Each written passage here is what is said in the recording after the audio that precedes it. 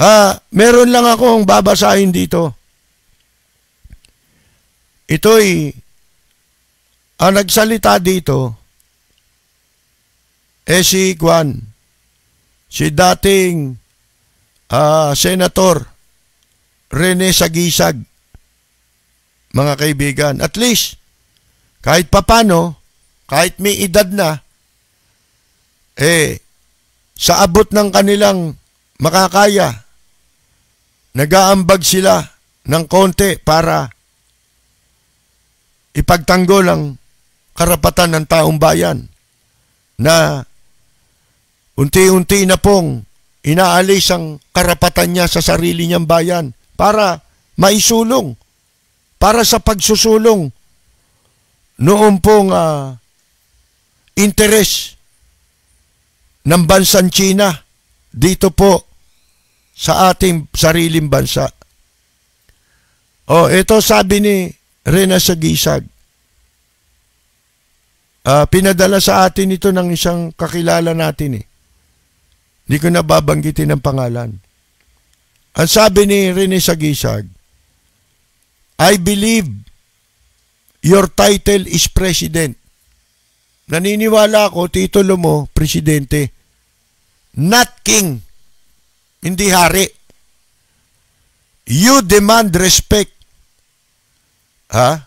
Nagde-demand ka ng respeto but seem to be incapable of giving any. Ha? Wala naman dahilan. Eh, alam nyo, yung salitang respect, eh, earned yan. Gusto ba, basta ka na lang sasabihin eh, kagalang-galang ka? Hindi. Earned ang respect. Ha? At hindi mo maigigiit, hindi mo pwedeng igiit ang respeto sa kahit kanino. Ha? Kailangan eh, paghirapan mo yan, yung respeto na yan.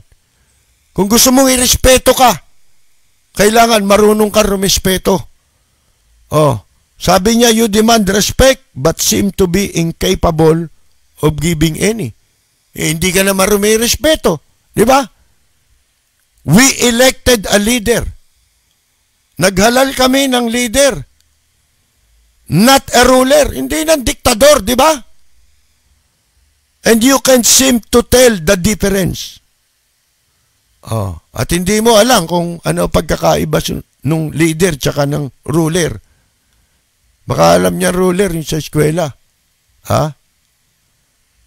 You took an oath to defend the Constitution. Nanumpa ka eh. Na ipagtatanggol mo ang Constitution. Yan na nga eh. Bakit ka magsusulong ng kung ano-anong charter change? Bakit mo uunahin yan? Bakit gagawin priority yan? ng isang gobyerno kung wala ka namang napatunayan na na ipapatupad nyo nga yung rule of law. Di ba? Kakatuwa yan. At saka, paano mong, bakit mo isusulong ang pagpapalit ng konstitusyon? Kung, diyan ka nanumpa, diyan ka nanalo.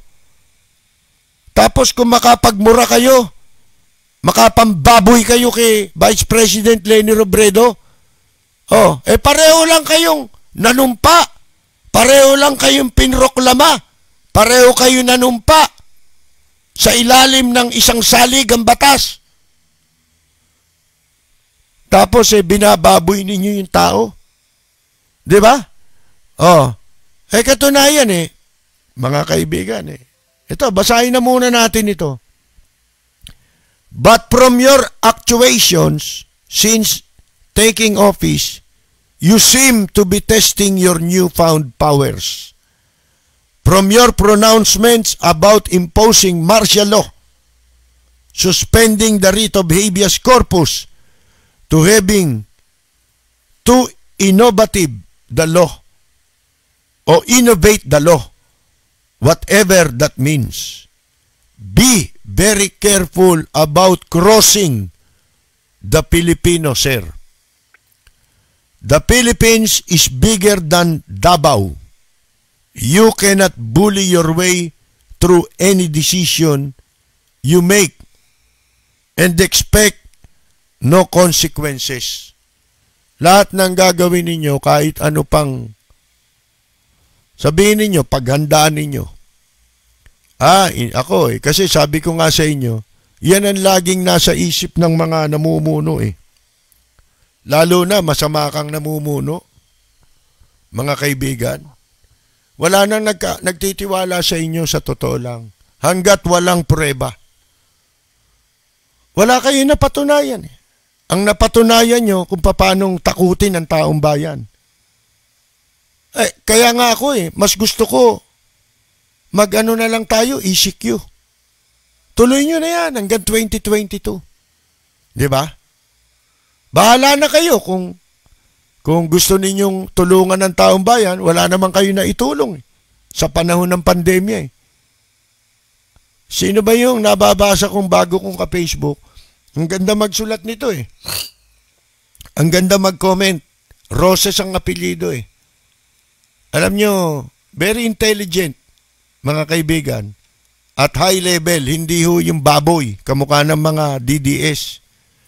Ah, ngayon, eh, sinabi niya eh, uh, mga 80,000 yata pesos ah, more or less, ah, mga ganong figure, ang magiging pera ng isang bawat Pilipino kung yung inutang sa panahon ng pandemya equally pinamahagi. Lahat makatatanggap kung, mag, kung ilan ang populasyon natin tatanggap ng mga more or less 80,000 pesos something. Ha? Kung yung inutang lang, wala pang ibang obligasyon. Ang gobyerno, hindi katulad sa Japan, di ba? Lahat may package. Hindi natatapos yun. Mga kaibigan. Ultimo, sa malaki, meron silang package sa mga malalaki negosyo. Oh. Dito lang wala. Tandaan ninyo, kahit ano pang pagpipilit ninyo, ah, uh, mananagot pa rin kayo eh, kahit sa tadhana eh. At saka yung iniisip ninyo, kala nyo magiging successful lahat. As planned, di ba? Uh, si Marcos nga, hindi nagawa yun eh. Hindi pa kayo kasing talino ni Marcos. Wala kayo sa kalingkingan ni Marcos. Oh. Kahit ano pang planuhin mo, pag naka, nakialam ang tadhana, sabi nga, ang tadhana ay laging merong paraan. Meron laging sariling paraan ng paghiganti. Diyan po tayo pansamantalang magpapaalam sa DWBL sapagkat uh, hanggang alas 11 lang po ang ating programa sa Radio DWBL 1242 sa inyong mga talapitan. Pero Huwag po kayong alis dahil magbabalik pa po tayo hanggang alas 12 po ang ating live streaming. Mula sa top-rated music station ng Dekada 80, ang WBL. Puro na naglilingkod sa inyo sa pamamagitan ng magaganda at piling-piling programa. Mula lunes hanggang linggo, aaliwin kayo ng aming kilalang mga komentarista at public service program. Ito lamang sa himpilan ng DWBL. Magandang gabi po sa inyong lahat. Ito po si Nonoy Zuniga, nag-iimbita sa inyo na sumubaybay at makinig lagi sa Lapid Fire. Ito ang programang mapanuri, may tapang at napapanahong komentaryo. Dito tayo sa Lapid Fire. Walang preno kung bumatikos. Malalim at makatwirang komentaryo Mag-ingat ang mga politikong gumagawa ng kalokohan at baka kayo ay tamaan ng Lapid Fire! Katulad niya, sinasabi ko sa inyo, ako Duterte. Matagal pa. Wala pang nagsasabing Duterte rito sa Maynila, Metro Manila. Ako pa lang. Sabi ko nga sa inyo, lahat na makausap ko noon, eh, pag tinanong, o sino anya mag- magandang uh, suportahan na presidente sa 20 16. Sabi ko si Duterte. Lahat ng sinabihan ko noon na matitinong tao, pinagtawanan ako. Mga kaibigan. Pinagtawanan ako. Bakit? Hindi naman presidentiable yun eh. Bakit? Hindi ho binabanggit ang pangalan niya kahit kailan eh. Di ba? Nung malayo pa eleksyon, wala pa. Oh, mga kaibigan. Katunayan, bago pa magpresidente si Noy Noy eh, binabanggit ko na sa programa ko yan eh. Pati sa aking column sa dyaryo, mga kaibigan. Ngayon, ah, hindi naman ako nagloko eh. Di ba? At ako, hindi ko siya binoto dahil uh, ako'y bulag. Ako'y idiot. Ha? Hindi ako hindi ako abnormal kamukha ng mga nakikita nyo ngayon sa social media. Kaya, tayo, kaya tayo pumipili ng kandidato na gusto nating manalo, ewan ko sa inyo. Ha? Ako, ang iniisip ko palagi kung ano Sino makabubuti para sa bansa at sa mamamayan? Eh yun ang, na, nagkamali ako ng akala eh. Kung merong gumawa ng masama, ako ba yun? Hindi naman ako yun eh. Nagloko sila eh, di bahala sila. O, oh, di ba? Ganon din naman sa panahon ni Pinoy. Ah. Oh. Di ba? Mga kaibigan, sa lahat naman ng administrasyon eh. Kaya sinasabi ko, dapat ang Pilipino nagkakaisa. Bakit? Kasi hindi naman tayo gagawa nung kanilang ikasasama eh.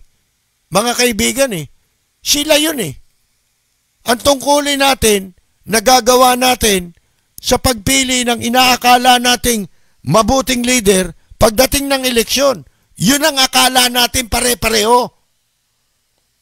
Pero ano nangyayari? Nabibigo tayo. Bakit? eh, hindi natutupad.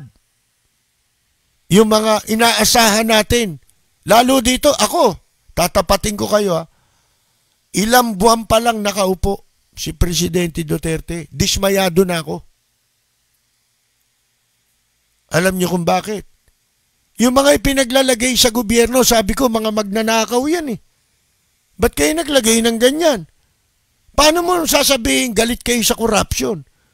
Eh kumukuha kayo ng mga mandurugas. Ano nangyari? Nagnakaw ba sila? Hindi. Nagsipagnakaw eh. Tapos sasabihin nyo, hindi nagbabayad yung yung ABS-CBN ng buwis. Eh mabuti nga yun eh. Halimbawa, totoo, ito ha. Eh bakit yung nagpo-programa sa PTV4, kapatid ni Wanda, sa tourism, sinalakay nila yung pera ng Pera ng mamamayan, ng gobyerno, kinuha nila. Ginawang advertisement. Inilagay sa advertisement ng kapatid. Nabawi nyo ba? Di ba sabi, isosole? Pinasosoli ninyo? Pinasosoli ng Commission on Audit? Isinoli ba? Eh, nagprograma rin eh. Oo, mga kaibigan eh. Eh, yan ang sinasabi ko sa inyo eh dito, laging may, pag, pagkakakampi nila, pag sila gagawa, ha, laging may krimen pero walang kriminal. Pag iba gagawa, kahit walang krimen, may kriminal. Katulad ng ABS-CBN. Wala ka na patunayan eh. E di walang krimen. Oh. Kayo lang nagsasabi nun eh. Sa buwatan yung ginawa nyo, conspiracy yun. Sa buwatan. Nagsapakatan kayo, di ba? Pinagsabuatanan ninyo, nakipagsabuatan kayo. Oh, kahit na sabihin mong hindi na ipagkalobang prangkisa ng ABS-CBN, nangangahulugan ba, naging totoo na kayo? Hindi pa rin kayo totoo. Akala nyo lang yun. Akala ninyo, habang buhay, magiging totoo yun. Alin yun, yung sinasabi daw nung, nung ano, yung bata ni Hitler nung araw, yung propagandista ni Hitler, na ang kasinungalingan, pag lagi mong ginagawa, nagiging totoo. Katarantaduhan yun, mga kaibigan. Oh. Sabi ko nga sa inyo, hindi mababago ang katotohanan. Kaya kailanman ang kasinungalingan hindi magiging totoo. Mas totoo ang sinasabi ko na ang katotohanan kailanman ay hindi mababago. Pwede mong igiit ang mali. Pero hindi nangangahulugang na bago ang katotohanan. Oh. Naigiit mo lang ang mali. Binaluktot mo ang batas, naigiit mo yun.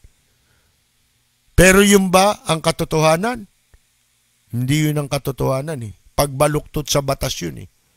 Mga kaibigan. Kaya, ang katotohanan ay hindi mababago yan. Dahil ang tama, tama yan. Kahit anong panahon, tama yan. Ang isang mali, mali yan kahit saang panahon, mga kaibigan. At yan, ang sinasabi natin, makikial, dadating ang oras, makikialam ang tadhana. Dahil ang tadhana ay laging merong lihim na paraan ng paghiganti. Walang preno kung bumatikos. Malalim at makatwirang komentaryo. Mag-ingat ang mga politikong gumagawa ng kalokohan at baka kayo ay tamaan ng Lapid Fire! Yan naman nakikinig sa atin mga responsableng tao eh. Di ba? Uh, katunayan, may mga edad, nasa edad na sila Ibig lang sabihin, mas kapani-paniwala yun. Dahil yun, maraming pinagdaanan eh. Di ba? Maraming karanasan. Di ba ang kasabihan eh, experience is the best teacher. Oh, di ba? Maraming natututo. Lumalawak ang horizon hindi dahil sa yung na-acquire na karunungan mula sa eskwela. Sa eskwela kasi, pundasyon yan eh, ng isang tao. Di ba, mayroong mga uh, nakakatapos, di ba? Uh, pagdating ng graduation, eh merong first honor, may mga ganon, di ba? Cum laude, mga ganon eh. Oh, merong nasa kulelat lang siya, yung ang kanyang uh, status eh, kuwan lang, pangkaraniwan. Pero, pagdating ng araw, yung kanilang galing napapatunayan pag sila'y nag-practice. Di ba? Kaya ako ha, mas bilib ako sa mga nagtatapos ng abugasya na hindi pumapasok sa politika kesa dun sa nagtapos ng abugasya, ang papasok lang pala sa politika. Eh para saan yung pinag-aralan mo? Di ba? Para saan yun? Dapat i-practice mo yun. Nagsayang ka lang ng panahon eh. Gagamitin mo lang palang dekorasyon para ka mapasok sa politika. Gagamitin mong kwalifikasyon. Di ba? Kaya nakita ninyo, masinahangaan ko ha, yung abogado na nagpa-practice kesa yung abogado na nasa politika. Eh magaling ka palang abogado eh. 'Di ba? Ba't di mo ginamit 'yan? Sa pagpa-practice mo. Yan ang ginagawa ng mga politiko ngayon, pinag-aaral ang mga anak. Yung pala, papalit lang sa kanila. Hindi ba? Alang ka kwenta-kwenta eh. Mga kaibigan, para saan yung pinag-aralan mo? Sa politika ka lang pala. Eh politika kahit sino nakakapasok diyan. Nakita niyo si Lito Lapid. 'Di ba? Oh, mga kaibigan. Linti ko mag ano yan. Mag, uh, magbasa ka ngayon ng mga balita pag kami press release si Lito Lapid. Ba English na nakasulat ha. Hindi ko mailubos maisip paano niya nasabi yun.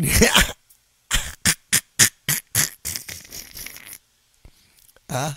Hindi naman sa pag ano ano pa man mga kaibigan. Hindi, hindi makatotohanan eh, di ba? Oh, bayad na bayad yung periodiko pag naglabas ng ganun eh. Sipi mo, press release yun eh. May sumulat eh. Di ba? Oh, pa, sa kanya mo pa sabi, kung talagang sinabi niya yun.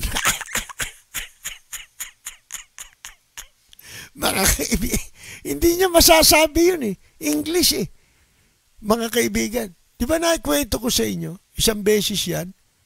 Nandun ako sa Pavilion Hotel. Eh, tambayan namin yun eh. Manila Hilton dati. Pagkagaling ko ng istasyon ng radyo nung pangumaga ako dyan sa sa PBS, sa gobyerno. Ang diretso ko doon eh. Para doon ako magkakape. Nandun yung mga kaibigan, kakilala, kakwentuhan, di ba?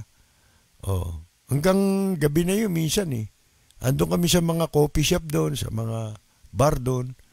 Oh, eh, dumating yan, tanghali. Dumating eh. Eh, nagkasalubong kami sa, ano eh, sa lobby. Papalabas na sana ako eh. Akalain niyo bumabaya na sa lubong. Nasa lubong ko. Ang sabi, oh, ba't nandito ka niya? Eh, kako, katapos ko lang magkape dyan eh.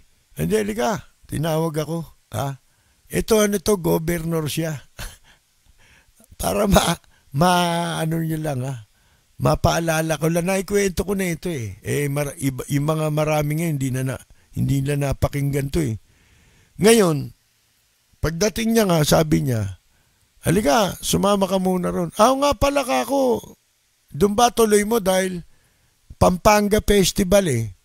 Doon kung halimbawa nagkakaroon doon sa coffee shop ng Kwan eh, sa restaurant ng, uh, halimbawa, Pampanga Festival, imbitado yung opisyal ng Pampanga. Siya yung nagkataong governor noon eh.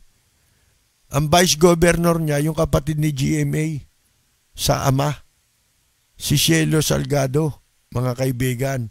O di sa madalit sabi, eh, do, eto ngayon, nung sabi niya, tara, eh di, sinabayan ko. Yung manager ng uh, pavilion, Amerikano, ang laking tao. Eh nakita namin, masasalubong namin. Ang ginawa niya, sabi, liga, dito muna tayo. Lumihis kami pakaliwa. Ay sabi ko, tama-tama, dyan ako nakaupo kanina eh. Eh nandun pa yung mga kakwentuhan ko, si dating ano, Immigration Commissioner Munding Reyes. Pinakamatagal naging commissioner yun ha, ng immigration. Di, nagkukwentuhan kami ro. Hanggang maya-maya, lumapit sa akin yung isang mga ano ron, yung mga uh, anyway, nagtatrabaho doon. Ha?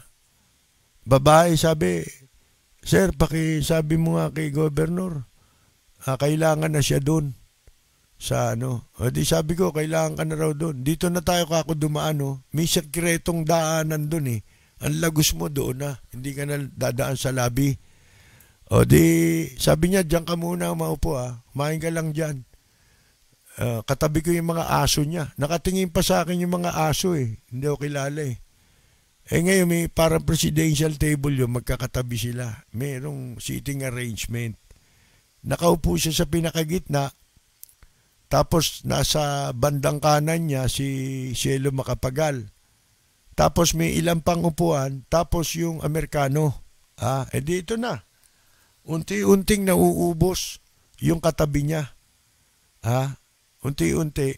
Yung Amerikano naman, si ano yun eh, si Phil Kennedy pangalan nun eh, yung manager na yun eh. O, habang nawawala yung katabi niya, umuusog yun. Eh may isang upuan na lang, makakausog na yung Amerikano, di ba? Magiging katabi na niya. Eh ako naman, hindi ko pa, ano yun, hindi ko pa pinapansin noon na iniiwasan niya pala talaga yun. Sabi, bigla niya akong sinenyasan kasi ka, magkarap kami ng lamesa eh. Uh, tinawag niya ako. Sabi niya, dito muna tayo. Kunyari, kukwentuhan tayo dito. Hindi, nawala sa loob ko. No? Hindi naninigarilyo kami. Eh, nakita ko yung chairman ng PAGCOR eh. Si Alice Reyes, si Mrs. Alice Reyes. Eh sabi ko sa kanya, yung sulat mo nga pala ako, tamang-tama. Nandiyan yung request nyo sa Pagcor. Andiyan, kasi ako inutusan niya eh. Ha? Doon sa sulat na yun eh. Dinala ko sa Pagcor yun.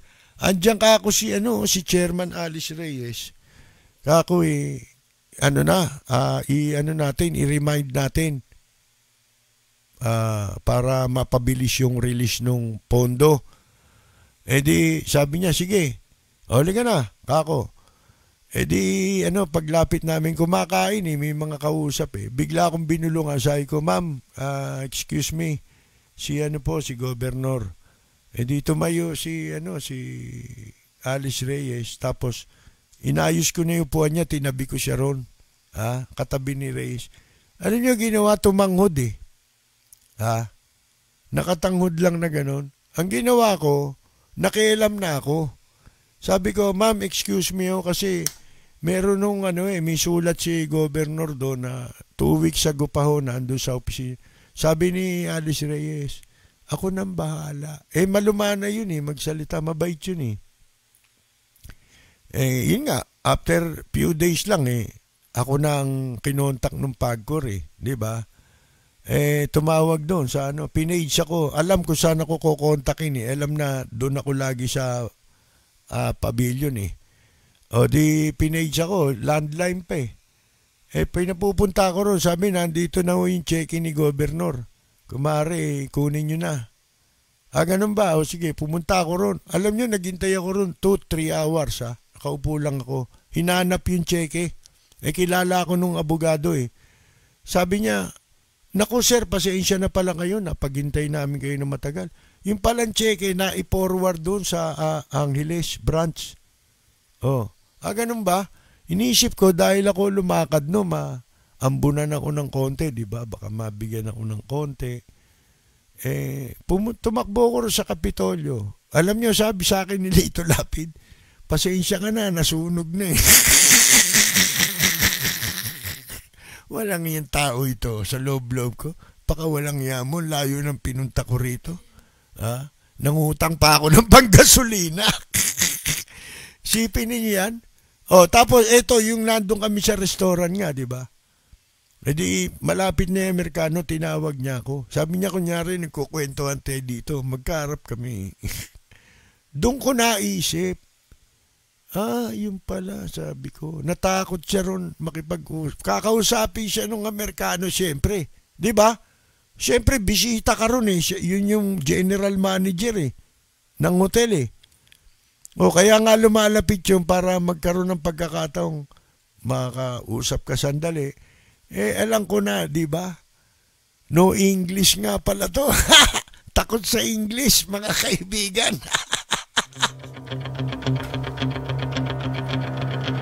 Walang preno kung bumatikos. Malalim at makatwirang komentaryo. Mag-ingat ang mga politikong gumagawa ng kalokohan at baka kayo ay tamaan ng Lapid Fire! Oh, yan. Hanggang natatawa ako eh. Lito lapid, tapos tatakbong senador. Oh. Tumakbong senador, di ba? mga kaibigan, no? gusto kong masira ulo ko eh. Sipin mo to, walang kapupunan, naging senador. Mga kaibigan. Ni isang English, walang baon to, tapos paniniwalain tayo. May press release. Naka, nakasulat na sa English. Dati sa Tagalog eh, di ba? Kung ano talaga yung sinabi niya. Ngayon may ano na eh. May automatic one eh. Anong tawag mo ron? Interpreter? Ha? Mga kaibigan, no? Saan kaya nabibili yun? Nai-English kagad yung sinasabi mo, oh. Sipin mo yun. Oh, kaya gusto ko minsan ma-interview yan eh. Ha? Sabihin mo nga yung sinabi mo sa dyaryo.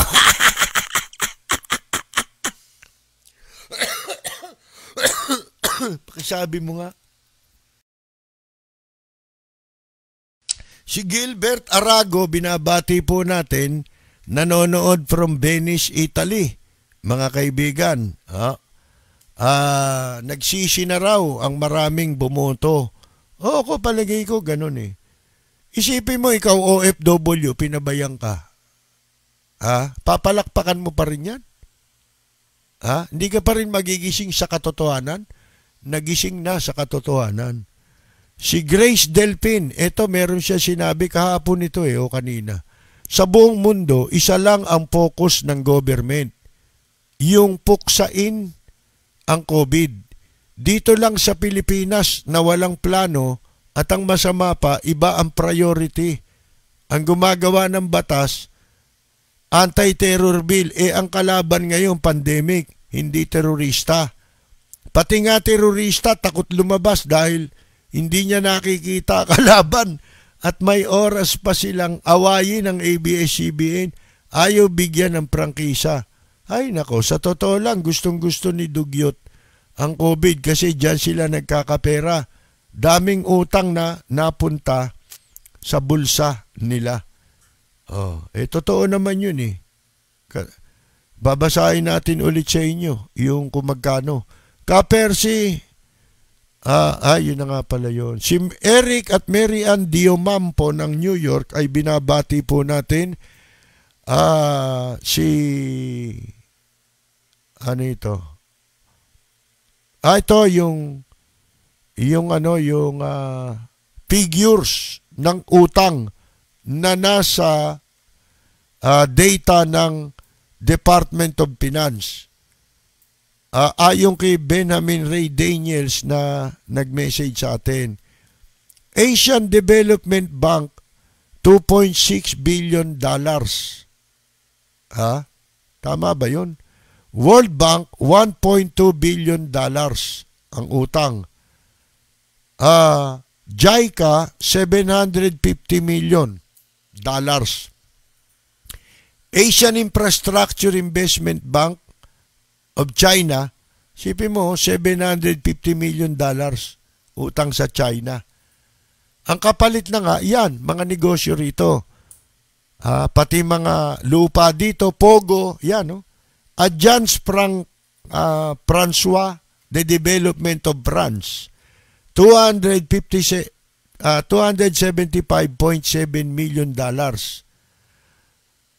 Total Overall total nito is 5.28 billion dollars external debt availments as of July ito ah, 1, 2020. Itong data na binasa nating figure mula po sa Department of Finance, mga kaibigan. So, nasan yan? Official yan, ha? Pag sinabi mong uh, data ng kwa ng uh, anong tawag diyan? Uh, DOF Finance Department. Binabati natin ang ating mga katropa sina Arlene Mon Barrias ng Amsterdam, si Buenos Dias Joel Diaz ng Italy, Carolina Luge ng Italy, Jorge Beichong ng Tokyo, Japan, uh, si uh, ano ito? Mm, Andres Bonifacio ng Michigan, June Di Valencia, isang singer-actor, Yula Sotelo, inabati natin, uh, isang veteran musician yan, si Rosita DC, o si Carolina, ah, Caro, Carol Torres Brihiño pala, Carmela Torres Balcos, Kaani Flormata Saludes, Kaenyang Mina. Yan. Ray Bonifacio. Ah, uh, veteran musician, nakabase sa uh, California. Siya po ay original na member ng bandang Halimaw noon sa Japan. Matagal yan eh. Oh, si ano, June Gases. Nasa Guam, original vocalist ng uh, Abracadabra. Uh, si Walden Kihanberry, musician din po at ang kanyang buong pamilya sa Guam. Uh, si Oldies but Goodies, musician din yan, mga kaibigan. Meron sariling ano yan, channel yan. Ha? Uh, Cheryl Belen ng Antio, California. Oh, si uh, Leonard Sunga ng Temecula, California.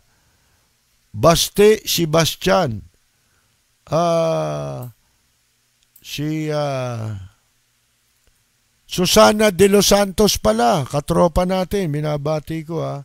Si Kamaita Basilio, katropa natin yan. O, is, si Romualdo Reyes, si Agnes ng Hong Kong, si Green Guevara ng California, Vin Malapitan, uh, Leo Villena ng Thailand, oh, musician din yan.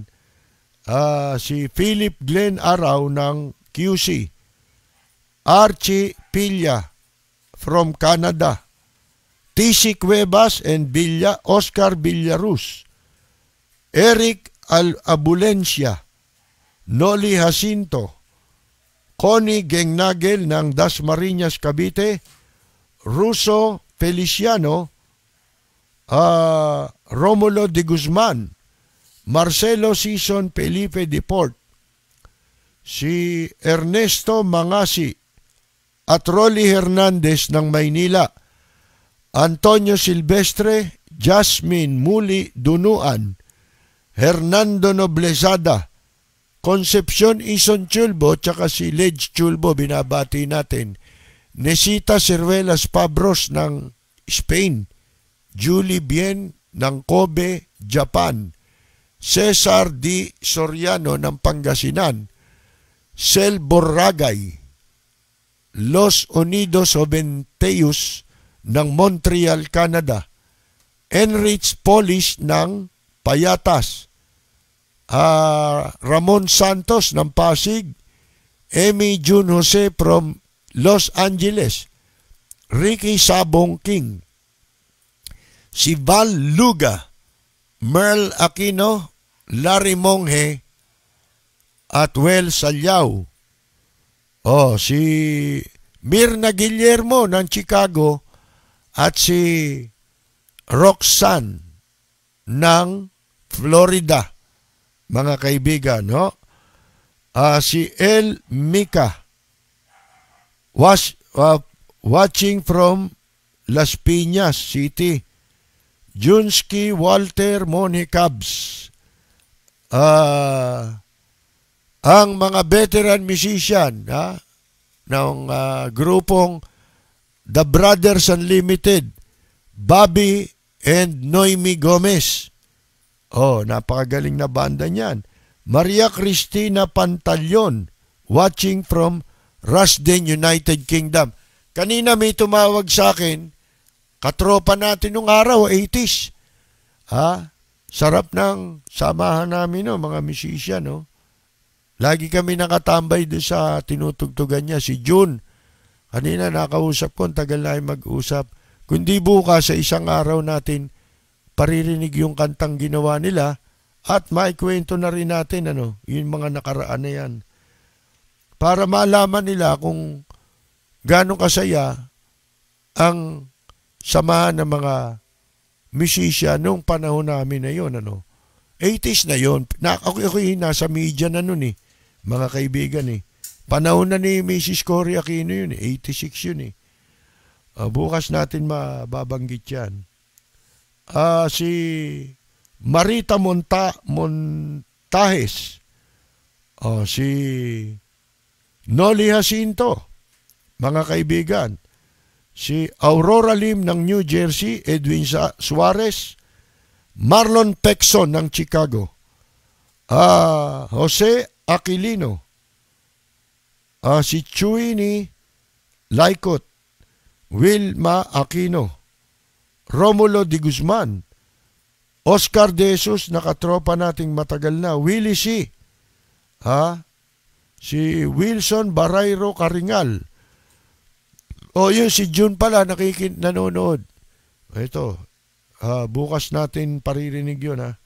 Si June Joven Banyes Valerio. Si Edwin Weng Reyes. Oh, si CJ Heraldo. Herado. O Garado, CJ Garado. Ayan, Norberto Trias ng Cavite. Romualdo Pascual, Marisa Martinez, Alet Calmateo, Junior Dal ng California, Reddy San Miguel. Oh, si Efren M. Ortilla, nanonood from Bronxville, New York. Oh, si Marvin Victoria. Hilario Baldobino na magbe-birthday bukas. Bukas na natin babatiin si Heraldo. Ha? Advance happy birthday muna. At bukas eh, patutugtugan ka namin ng pagbati. Si Jo- Jerry Obregoso kasama ang Barangay Tanod, oh, si Chung Shun Yang, Reuben Betua at Rick Carion ng South Jersey. Oh, si ano rin, yung ma- mahusay na jazz singer. Si ah, Audrey Cruz. Ba, eh, binati ako kanina. Nasa New Jersey, matagal na sila ron eh. Sama niya yung husband niya na ah, magaling na ano yun, na musician, keyboard player. Si Renato Tolentino ng kung ano, Rhythm of Three. David Lasabak, Kagawad Elena Eliasar Kalonsag. At siyempre si dating chairman Boy Kalonsag. Oh. Po ninyong kalilimutan doon po sa mga gustong uh, kahit papano ay masuportahan tayo, mag-subscribe kayo sa ating YouTube channel na Lapid Fire ni Percy Lapid. Ho? pagkukunwari Hindi hindi padagay Sadyang kilala sa daigdig May pagkakaisa sa bawat nais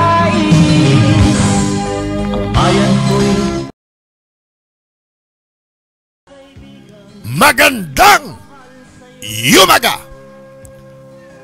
Mike Sipsep Defensor